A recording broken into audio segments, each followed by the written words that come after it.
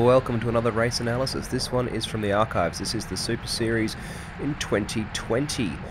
Uh, this one's one I've wanted to do for a while but just haven't found the time. Uh, I'm still racing for Port Adelaide at this point. The black and white kit, uh, Alastair's just in front of me here. Main rivals are uh, Alex Jarvis in the Norwood red kit and uh, basically all of Rocket. Uh, this is the last year I raced for Port Adelaide. I signed up with Rocket the next year. So we've got Alex Jarvis just on my left shoulder here. Um, this is a course I've got a bit of a love-hate relationship with. It's the Wallaroo Hell of the North road race. It's got about uh, 60 k's total and about 20 k's of that are on rough gravel hard pack roads. I've had a couple of races that I've done pretty well in, but I've also had a couple of races that I've ended up leaving some skin on the road, so um, it's one I always go into with a bit of nerves. Uh, I won the first round, this is round two, so I'm in the leader's jersey and we've had a teammate in the break for the first 40 k's. He's still up the road at this point, so we haven't had to do any work. We're coming up here to the turn off to the first gravel sector. Uh, we had intended to be right up the front at this point, but the pace kind of picked up, and as you can see, we're six or eight wide across the road. So unfortunately, when we come into this corner, um, I'm not really in a great place. And the problem with that is the pace kicks off as soon as we hit the gravel. It's the obvious place to attack, it's much harder to stay in the wheels, uh, and people don't want to be in the wheels. It's easier to be on the front in a place like this, so the pace really goes up. We're about a minute into the gravel, um, and I can see there's a few gaps opening up ahead. I get lucky and see a Norwood rider coming past and hop on his wheel. Um, this guy gives me a really nice tow all the way to the front, um, but you can really see the difference it makes having a good line in the centre and sort of weaving over on the right. Uh, this guy does a really, really impressive turn, and he really does close quite a big gap for me here. Um, I reckon without this guy's work, this might have been race over for me. Um, what I didn't realise is that people weren't following me, so we got across, and then that was essentially what what turned into the first selection of the day. A minute or so later, I can see gaps opening up in front, um, and I put in a big dig just to try to close some of them. Fortunately, again, I'm following in the wheels of someone, but this is a 500 watt effort for part of this just to close some of those gaps. It was really sketchy. Uh, there were essentially three lines on the road where the tyre marks were, and you could ride on any of them, but getting across them was dangerous. There's more than a few people who crashed out just trying to get from one line to another or when lines sort of converged. And even sitting in the wheels isn't particularly easy. Uh, surges going off the front and suddenly you're hitting 500 watts just trying to stick in the wheels. So we're about at the third of the way through the first gravel section. We've been going at this for about five minutes now, um, and this ends up being the final selection. There's about 11 of us in this group. Um, a couple of the really big hitters, Tom Baxter, who won the the whole series the year before, Mike Davies, who's a former national time trial champion, Louis Vanderberg in the uh, transitions kit, two riders ahead of me. He's a fantastic sprinter. This is this is a really significant field. I'm not entirely sure how I made my way across to it. It felt like I was sort of sitting on the back and then jumping from group to group uh, as gaps opened up ahead. So I kind of got lucky, I think. You can see here how sketchy it is. Um, for some reason or other, I try to cross over to the left, but realizing there's not enough space, I try to get over to the right again. Uh, and you just can't. You can't go over that center line without jumping, or you're going to lose a wheel. And of course, while you're distracted trying to figure out if you're about to crash, all of a sudden a surge will go off the front, and then you're pumping 300, 400 watts just trying to stick with it. I think now's a good time to call out Darren Hicks, just coming up on the right. Darren Hicks is our one-legged Olympian. Uh, this man's got more power in one leg than most of us have in two. On top of that, he's a top bloke and a fantastic bike handler. So always watch out for him. He's uh, the king of the long bomb. Uh, you can never let him get up the road because he can just hold it forever. Alright, so we're 10 minutes into this gravel section and I've got no idea what's going on.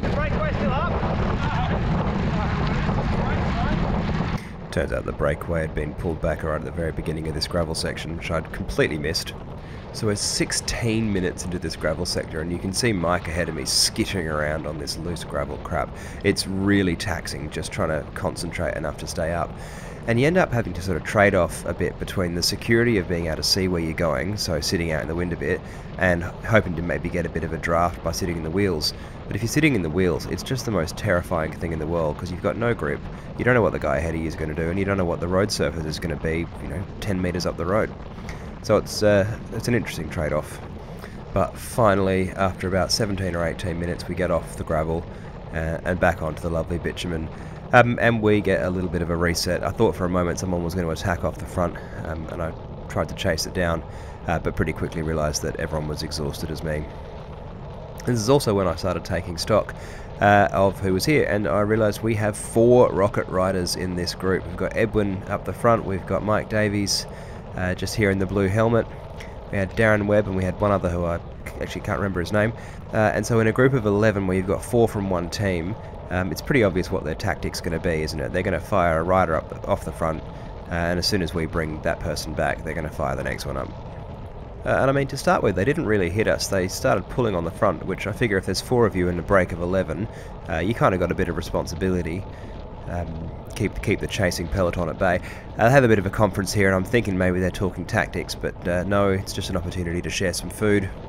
And it's actually not for a good five minutes before the first person attacks, and oddly enough, it's not someone from Rocket. Someone from USG goes um, with Mike Davies on his wheel, and as soon as I see Mike Davies going up, I've got to chase it. But fortunately, Edwin closes it down for me. Uh, I can't believe this. This is um, this is a dream come true. I see a dangerous attack going off the front with a good time trialist, and his teammate pulls him back. Jeff Linder from NorCal Cycling is spinning in his turbo trainer. Louis Vandenberg in the Transitions driveway kit decides to get on in on the action. Again, a Rocket Rider on his wheel, um, but nothing really comes of it. A few minutes later, Rocket's been pulling on the front a bit. Um, uh, the fourth Rocket Rider goes for an attack off the front. Uh, as soon as he goes, I figure I'm going to have to chase because no one else is. Um, but Edwin picks up the pace again. Um, I'm waiting in the wheel a little bit to see if anyone else is going to pull through and chase him down. Um, but the pace is going up, and you can see Edwin starting to pull some pull some watts. So, I mean, he's not really going all out, but he's certainly not soft pedaling either. This is fantastic. Um, I'm just going to sit in this and see what happens. He's asking people to pull turns going through, but I'm not sure why. Uh, it's his teammate up the front, so as long as he's doing the work, that's fantastic. Edwin eventually does pull off, and I do what feels like a pretty long turn to bring this guy back. But you can see I'm only doing 120 watts. It's it's pretty it's been pretty obvious from pretty early on that he wasn't going full gas. Um, and hey, look, here comes the rocket train. Two rocket guys again on the front chasing their teammate. Um, what's not to like? Alright, so we're coming into the second gravel sector here. This one's not quite as long, but the surface isn't quite as good. Uh, we've got Edwin on the front and Alex Jarvis just in front of me. Um, I didn't really know these guys at the time. This is the first time I'd raced against uh, either of them more than once.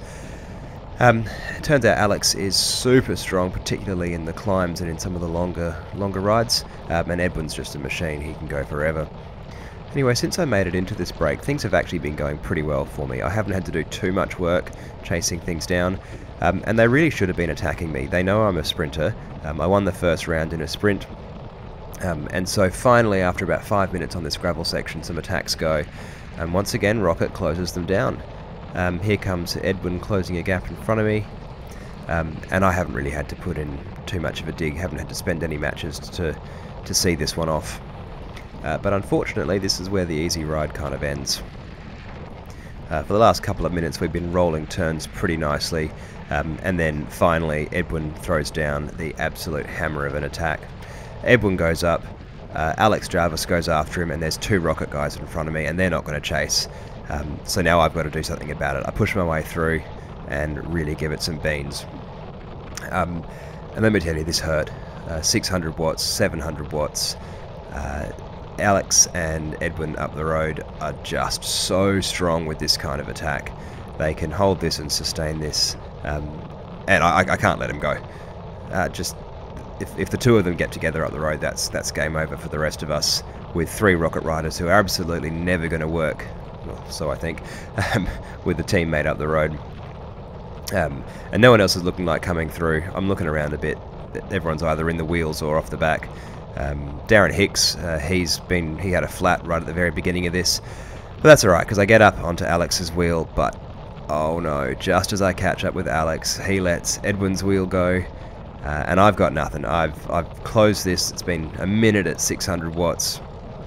I try to pull through to keep closing this gap, but that's it. I'm blown up at 190 beats a minute. Um, you know, there's there's my biggest match of this race gone. Uh, and at this point, I'm looking around for someone to help, someone to come through. Um, and everyone else is just, well, they're all going to look at me. They're not going to want me to burn everything up because uh, they know they're not going to want to take me to the end. Um, and unfortunately, that means that Edwin's just eking out that gap ahead of us. So I think after flicking the elbows a bit like a chicken for a while, I decided to put my head down and just see if I can tap out threshold for a bit, maybe keep the gap steady, and then hopefully someone else will come through a little bit later. Um, and I mean, for the rest of the people in this group, it's it's the right idea. I mean, Edwin didn't get points in the first round, so they're not worried about him on GC. Um, probably most of the guys here are thinking about stage wins more than GC. Uh, and since they've got the, the overall series leader sitting on the front doing the work, they're kind of not needing to do anything. Uh, finally, Alex comes through and gives me a turn, uh, but you know by now the damage has pretty much been done. Edwin's probably got 20 or 30 seconds, and given how close we are to the finish line, he can probably hold that for quite some time. I pull through for another turn, and to give you some idea of just how rough this is, my handlebars had actually slipped, and you can see me readjusting them um, you can see the GoPro camera sort of starting to point to the sky a bit more. This surface is really rough on your bikes. A few minutes later, a few more turns, uh, I get a little bit of help from USG. Um, and this time, though, Rocket's uh, playing the team game really well. Um, I think this is uh, possibly Webby. He's coming through and running interference. I'm not having that, so I'm going to go through to the front and try to try to keep the momentum going. Uh, but unfortunately, that just leaves me working on the front for another couple of minutes and in fact I do the lion's share of the work for the next four or five minutes. Louis gives me one turn, he comes through for his second turn here, um, but other than that I've been the only one really chasing here. And Alex comes through to the front, I'm thinking that maybe we're going to have a good pull from him, uh, but that's not what he's interested in, um, and instead of that he uh, goes on the attack. And you've seen from how strong he was going across to Edwin in that first attack, uh, just how strong he is, um, so I absolutely have to close this one down myself. Again, Louis, who's been the only other one who's really interested in contributing to this chase, he's just finished a turn on the front, he's not going to be able to do it. And ultimately it comes down to me, so I spend another match to bring him back. We finally get back onto the bitumen, uh, and the pace goes completely out of the chase. Uh, no one's doing any work, so I decide to throw in a few fake sprints, see if I can't convince someone to come through and pull a turn. But they're not falling for that, so I give it another go. Still no one no one comes through uh, and I end up stuck on the front. Fortunately, no one's attacking, so I can just sort of wheel it back to 200 watts and roll through, watching everyone, seeing what they're doing. And given how slow it is, I think I'd probably rather be on the front at 200 watts than potentially boxed in but in the draft. And you can kind of see the, the advantage of being on the front when it's this slow.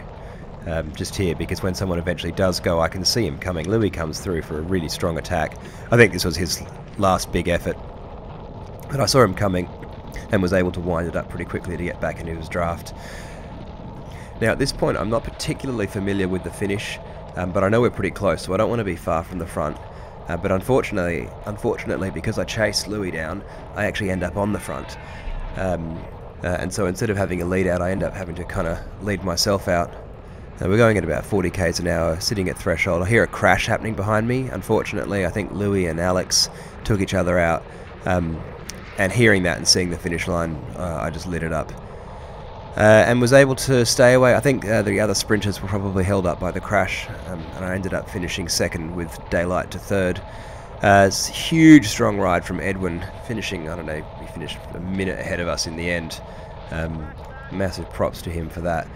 Uh, and the rest of his team certainly played it well, interfering with any chase attempt, attempts, but um, good to have another podium in the bag. Anyway, I hope you enjoyed that one, and I'll see you in the next one. Bye for now.